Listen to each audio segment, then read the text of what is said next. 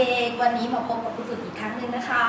วันนี้ครูตุ่นจะมาสอนในวิชาภาษาอังกฤษอีกเหมือนเดิมนะคะเด็กๆค่ะ คือหนังสือเล่มนี้นะคะเด็กๆ เด็กๆ เคยได้เรียนรู้กันมาแล้ว แต่วันนี้ครูตุ่นจะมาสอนเด็กๆ ในหน้าที่ 5 นะคะ ฝึกการลากเส้นค่ะเด็กๆ เตรียมอุปกรณ์การเรียนด้วยนะคะ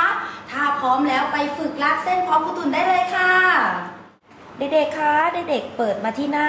ที่ 5 กันครบทุกคนแล้วนะคะเด็กๆ เด็กๆ มาฝึกลากเส้นตามรอยปะแล้วระบายสีให้สวยงามนะคะ เด็กๆ เห็นรูปบอลลูนไหมคะ เริ่มจากลากเส้นเป็นรูปบอลลูนกันก่อนนะคะ เด็กๆ ลากขึ้นโค้งไปให้ทับรอยนะคะ ทับรอยเส้นประเลยนะคะ เด็กๆ ขึ้นโค้งนะคะ เด็กๆ อย่าให้ออกนอกเส้นนะคะ เด็กๆ เด็กๆ ลากไปเรื่อยๆ เรื่อยๆ เรื่อยๆ เลยนะคะ เด็กๆ ค่ะ เด็กๆ ก็มาเริ่มที่ ลากตัวลายเส้นบอลลูนนะคะ เด็กๆคะเด็กๆทำไปให้เสร็จนะคะ แล้วระบายสีให้สวยงาม